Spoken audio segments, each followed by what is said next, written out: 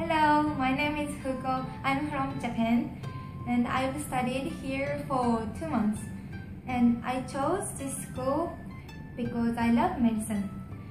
And people who live here, everyone's nice. And here we have so many natures and it's super good because I can study while I, I'm having fun at nature.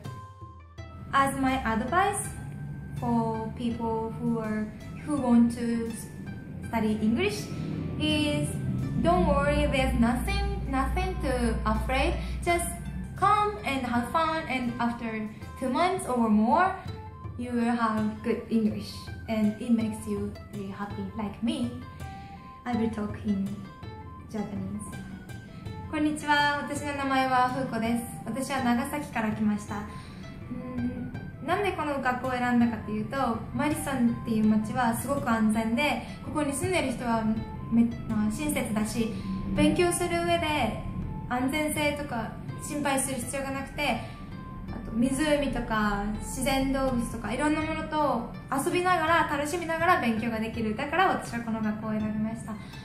もしもしあなたが勉強したい思うならとかアメリカに住んでみたいって思うなら何も心配しないで来てください。2ヶ月しか私は勉強しなかったけどでももうパラグラフ書けるしテストもできたし何でもできます。心配しないで来てください。Thank you very much.